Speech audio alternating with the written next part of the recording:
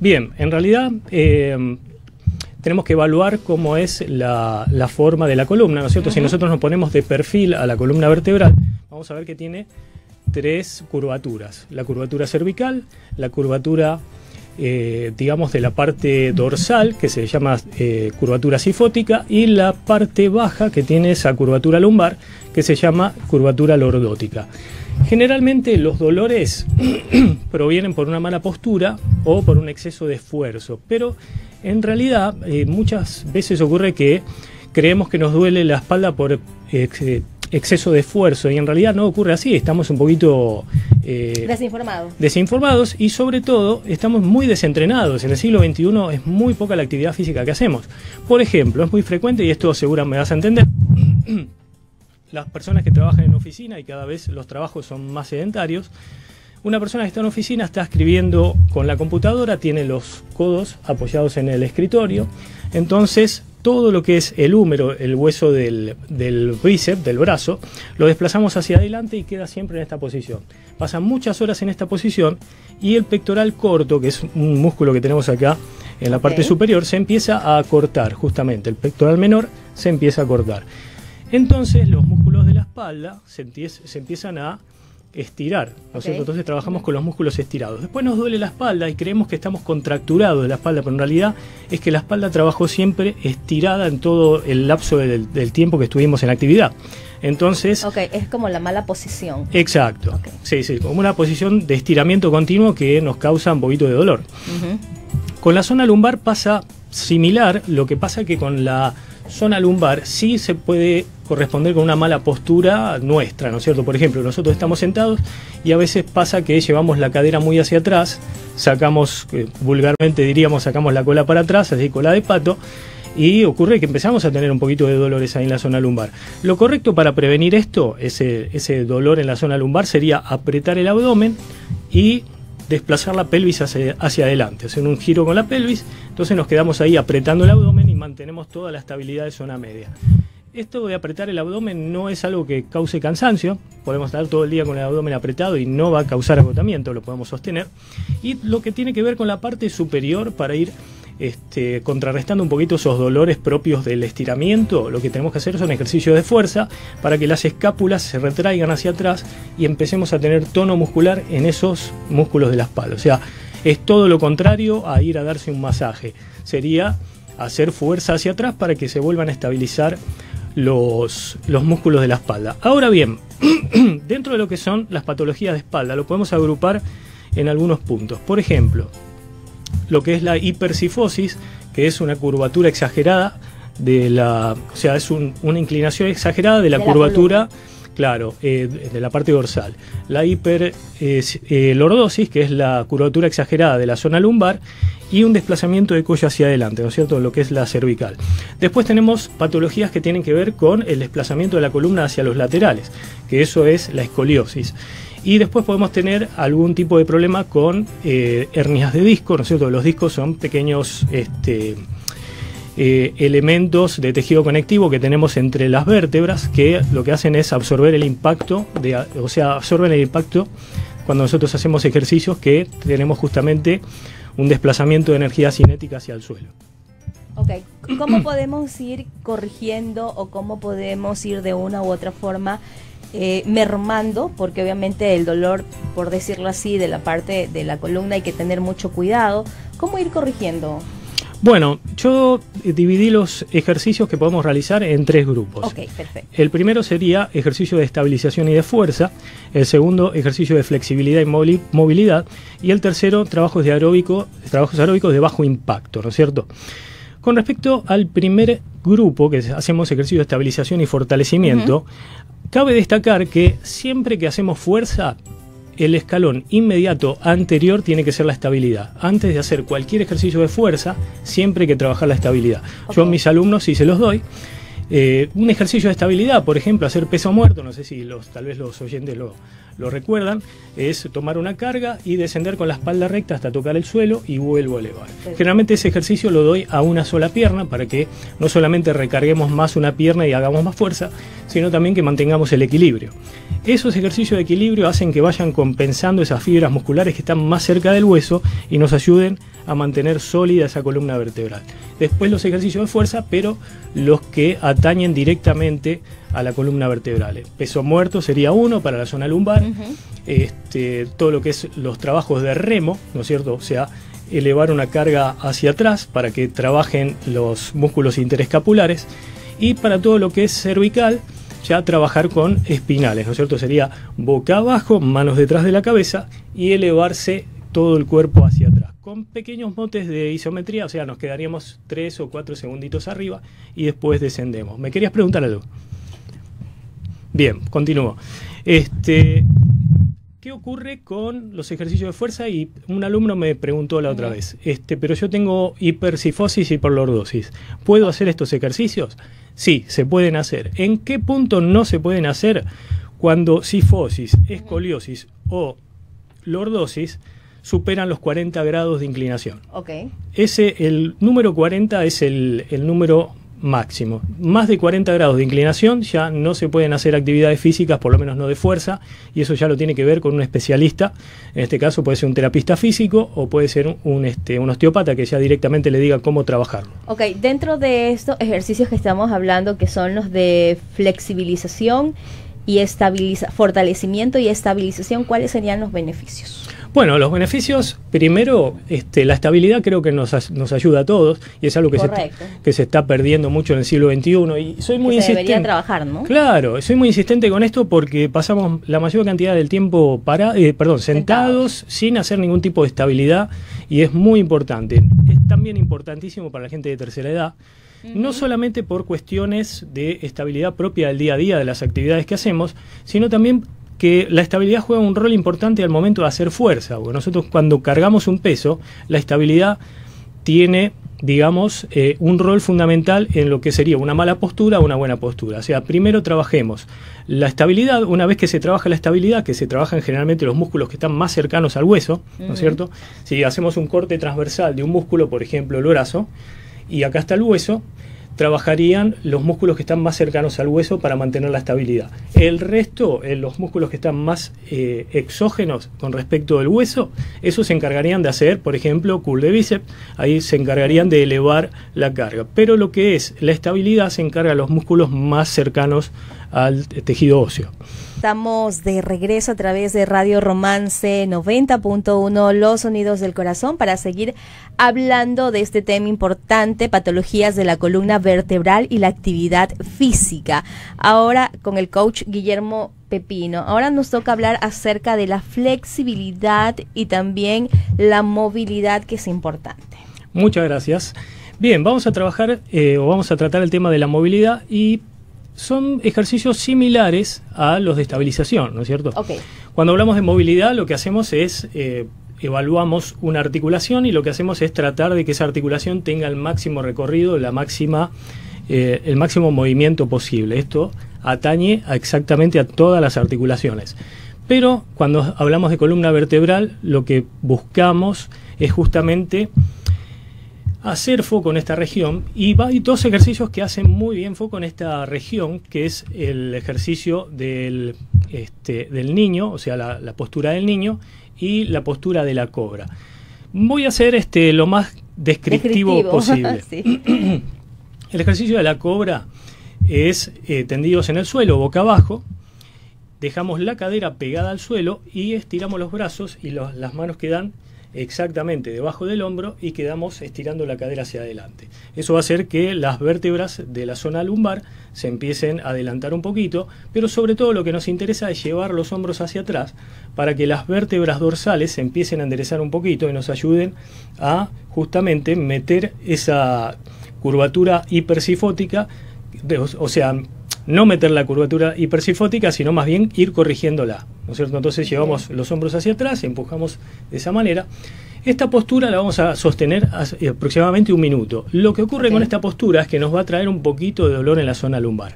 Cuando terminamos ese ejercicio, automáticamente nos vamos al opuesto, que sería el trabajo en la postura del niño. La postura del niño sería de rodillas, boca abajo, abrimos al máximo las rodillas, los pies se tocan entre sí, estiramos los brazos y dejamos caer el torso hacia abajo y dejamos caer el esternón lo más proximal al suelo. Entonces apoyamos cabeza, apoyamos brazos y nos estiramos también con la consigna de estirar bien el esternón hacia adelante, pero la zona lumbar esta vez en vez de estar concentrada hacia abajo va a estar concentrada en neutro o hacia arriba.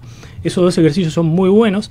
Si querés después podría ser que yo te estoy debiendo un video para para este eh, sí, sí, sí, bueno. Ok este en una persona eh, que ha tenido un problema en la columna eh, a lo mejor alguna operación para alguna corrección y, quiere también fortalecer esa parte importante del cuerpo por salud qué tiempo le toma a lo mejor este reintegrarse a una a la actividad física ¿Qué tiempo le toma? ¿Y cuáles serían los ejercicios? Obviamente que yo sé que depende de, de, la operación, en este caso, por decirlo, ¿no? Que haya sufrido la persona.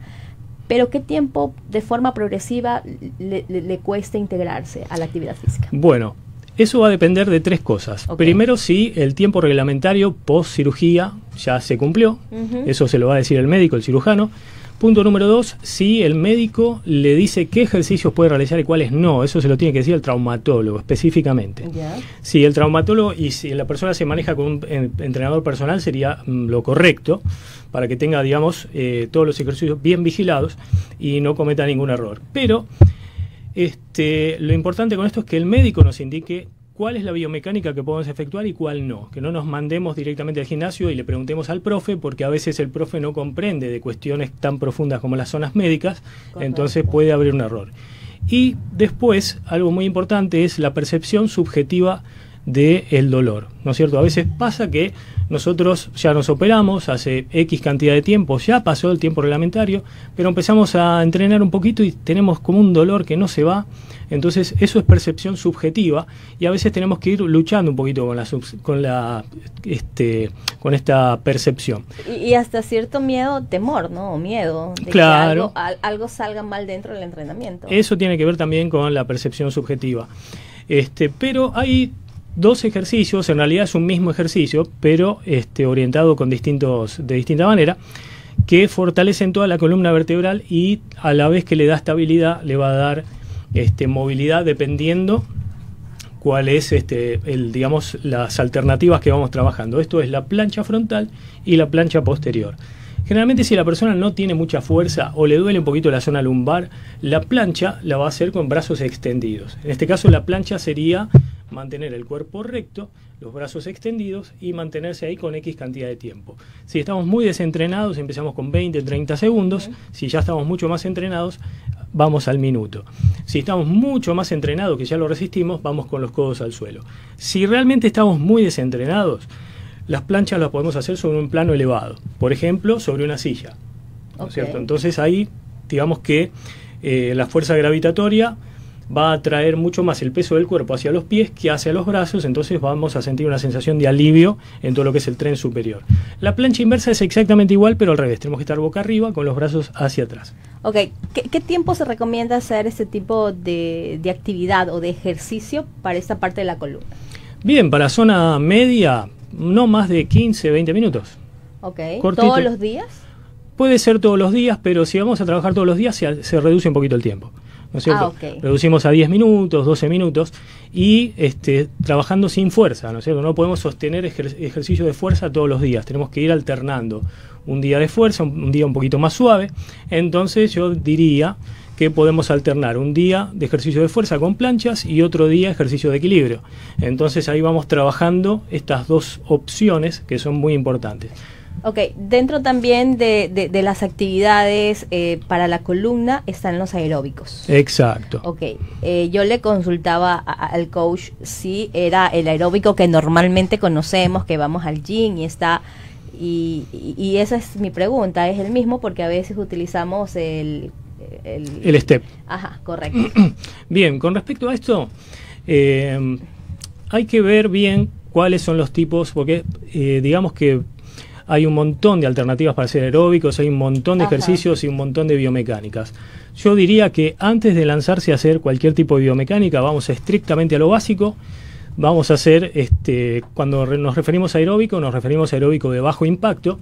Esto quiere decir que cuando estamos haciendo algún tipo de movilidad o con tren inferior, por ejemplo, que el pie no desprenda mucha energía cinética con el suelo, o sea, que no golpee demasiado. Entonces, para eso tenemos la bicicleta, para eso tenemos eh, las caminatas, ¿no es cierto? Pero puede ocurrir que la persona esté bien entrenada y una caminata no le sirva para nada, pero trotar no puede trotar. Entonces, ahí tenemos la alternativa de subir y bajar una pendiente. Entonces ahí podemos subir y bajar una pendiente. Acá en Ecuador está lleno de pendientes, podemos aprovechar eso y hacemos un trabajo de 15 minutos de subidas y bajadas de pendiente. Ok, hemos hablado de lo que podemos hacer. Sí. ¿Cuáles son aquellas actividades o ejercicios que no podemos hacer? Bueno, si estamos con este tipo de, patologías, primero, cargar pesos elevados, exagerados, olvídate.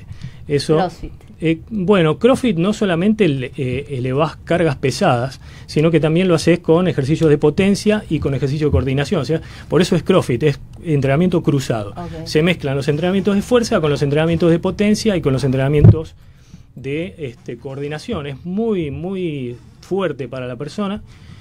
Y de hecho, es una percepción mía. Para hacer CrossFit hay que por lo menos tener dos años de antigüedad entrenando en un gimnasio normal. ¿sí? Después que se fortaleció todo el cobre, que estamos realmente todos bien fortalecidos, ahí podemos hacer un traspaso al CrossFit. Si no, es ir a buscar la lesión. Eh, como veníamos hablando recién, si estamos haciendo CrossFit, suspenderlo, porque el CrossFit, si nos fijamos en las estadísticas, y creo que la Universidad Católica de Cuenca hizo un informe acerca de esto, no recuerdo si fue en el año, eh, no sé si fue el 2018, fue antes de pandemia, porque después, bueno, hacer estadísticas en pandemia se hizo muy difícil y después se retomó la actividad. Pero este, sí he visto que la, Universidad eh, Católica de Cuenca hizo un informe acerca de eh, las lesiones en el deporte, sobre todo en el CrossFit, y se, se, acentuaron un montón las lesiones a partir de la aparición de, este, de esta disciplina. Por otro lado, todo lo que tienen, todos los ejercicios que, eh, digamos, reciben la carga sobre la columna, los tenemos que suspender. Por ejemplo, sentadilla con barra, ya eso lo tenemos que sacar porque si no, tenemos todo el peso de la barra que descansa en los hombros y por ende descansa en las vértebras y en la cadera. Entonces ahí trabajamos sin carga. Lo mismo para peso muerto con carga. ¿Podemos hacer peso muerto? Sí, sin carga, con el bastón o a una pierna si realmente nos resulta fácil. Y ahí cumplimos con el objetivo de trabajar el equilibrio y la coordinación también. Y todo lo que tiene que ver con hombros, con empuje hacia arriba, todo lo que sea press militar, ya sea con codos cerrados, con codos abiertos o las variantes, lo dejamos. Porque ocurre lo mismo. Estamos transfiriendo todo el peso de la mancuerna a la columna directamente. Entonces, por ejemplo, podemos reemplazar con un vuelo lateral o un vuelo frontal, pero suspendemos el trabajo de, de press militar para siempre o por lo menos hasta que solucionemos el tema de, de la columna, hasta que el médico nos, nos autorice, perdón. Eh, eh, eso iba a, consultarte. Luego de este... Eh, alguien que ha tenido algún tipo de problema con la columna supera o logra mantener su flexibilidad, su equilibrio, ¿viene algún tipo de ejercicio de mantenimiento, de cuidado, de prevención?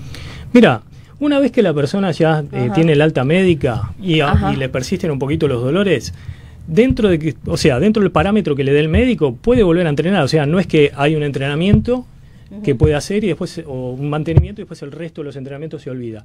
Correcto. Puede hacer, lo que tiene que evitar es ciertas biomecánicas, ciertos ejercicios, pero después puede realizar cualquier entrenamiento. Y esos entrenamientos, el otro día creo que subí a mi grupo eh, una, un documento de los entrenamientos de intervalo y lo que podemos ir jugando es con los intervalos de tiempo, porque eh, digamos que cambiando los intervalos de tiempo, lo que vamos a ir haciendo es darle a la, a la célula y específicamente a la mitocondria distintas participaciones dentro del ejercicio y efectos distintos. Con más tiempo podemos trabajar un poco más el volumen, con menos tiempo y más fuerza podemos trabajar la potencia. O sea que podemos aplicar cualquier sistema de entrenamiento, pero con los ejercicios que sí nos indique el médico. Ahora, ¿qué carga tenemos que usar? Sí, eso yo le preguntaba precisamente, ¿no? Si hay un peso específico de carga o a lo mejor definitivamente no se debe utilizar carga. ¿Cuál sería la recomendación? Mira, si el médico ya nos dice, podemos trabajar con carga, lo que sí vamos a evitar siempre es este trabajo con, este, con recarga sobre columna. Olvidémonos porque volvemos a trabajar con carga y ocurre que después podemos llegar a tener el mismo problema. Entonces, por ejemplo, si queremos trabajar pesado para piernas, tenemos en el gimnasio la extensión de cuádriceps o la extensión de isquiotibiales, que es un trabajo acostado y se, elevan las piernas, pero no tenemos, digamos, trabajo de fuerza sobre columna. ¿Qué parámetro vamos a tomar? El 70 al 75% de tu fuerza máxima. ¿Cómo se mide esto? Se mide este, tomando un peso que nos permita llegar a la repetición número 12 al fallo. ¿Qué significa esto? Por ejemplo, ¿no? estoy haciendo la mímica del de el bíceps, ¿no es cierto? Entonces llegamos a la repetición número 12 ahí temblando, que no puedo más. Ese es el termómetro, por decirlo así, ¿no? El fallo muscular en la repetición 12. Ok, hasta ahí puedo, ese es el peso, recomendarlo, por decirlo así, que debo utilizar. Exacto, podemos utilizar todo, el fallo a la 12 repetición lo podemos aplicar en todo, menos en todo lo que son planchas y abdominales. Recomendaciones generales para prevenir y cuidar esta parte tan importante que tenemos que es la columna vertebral. Totalmente. Planchas. Ok. Plancha inversa, plancha frontal, siempre. ¿Qué tiempo? bueno, podemos empezar, por ejemplo, con lapsos de 30 segundos por 30 segundos de descanso y repetimos 6 rondas 6 rondas de 30 por 30, lo mismo para plancha inversa, eso día por medio va muy bien. Ah, este, por ejemplo, de manera preventiva abdominales, lo que podemos trabajar de manera preventiva también es la actividad física aeróbica, ¿no es cierto? Aeróbico de bajo y de medio impacto. Si todavía no tenemos el problema de, de la columna vertebral, podemos hacer medio impacto, ¿no es cierto? Alto impacto no, no le sirve a nadie. ¿No es cierto? Ir y romperse las articulaciones por puro gusto, no. Aparte hay un concepto general con el que yo combato mucho todos los días, es que el hecho de que el ejercicio me canse y me deje agotado y dolorido no significa que sea un buen entrenamiento. Ah, ah, claro, hay a veces hay un concepto que dicen que cuando eh, al otro día está dolorido o está cansado es porque el ejercicio estuvo bien realizado. Claro, bueno, eso es un error. Eso es un error. Generalmente cuando ocurre eso, cuando hay, digamos, concentraciones de ácido láctico muy grandes y sobre todo que tenemos una fatiga que puede llegar a, ser considerada crónica en el paso del tiempo si seguimos con esta idea. En realidad, lo que a nosotros nos interesa del entrenamiento es la recuperación, ¿no es cierto? La recuperación tiene que ser lo más rápido posible. Por ejemplo, vamos a basarnos en los entrenamientos de un deportista de élite, ¿no es cierto? Una persona que compite a Bolt, o no sé cómo, se, es el nombre, cómo se pronuncia bien, que es este hombre que ganó la, velocidad máxima en 100 metros llanos en las Olimpiadas. Este, vos ves el entrenamiento y no es para nada agotador.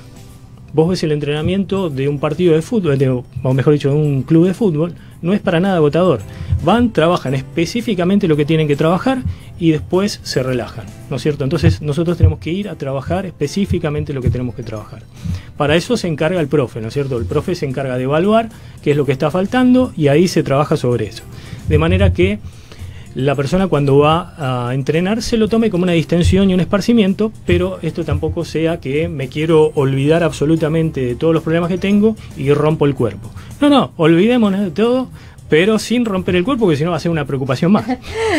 Definitivamente. Eh, coach, ¿dónde pueden este, tener más información acerca de su gimnasio virtual? Si alguien quiere, pues también una clase personalizada, algún, alguna rutina, eh, pueden pedirle información, ¿dónde pueden comunicarse con usted? Perfecto. Bueno, pueden comunicarse conmigo a mi WhatsApp directamente, 093 969 8330 o este bueno ahí me, me, consultan directamente yo respondo todos los mensajes si no respondo de manera rápida es porque estoy trabajando estoy haciendo alguna actividad y generalmente cuando estoy con un alumno estoy con con, este, con clases, no atiendo el celular porque respeto mucho lo que es el tiempo de trabajo, pero después cuando me desocupo sí contesto el, celular. ok, página web también. Página web, sí, es este www.entrenamientosencasa.com. Así es. Muchísimas gracias por haber estado con nosotros en esta mañana de Solo para Románticos. Muchas gracias a vos y muchas gracias.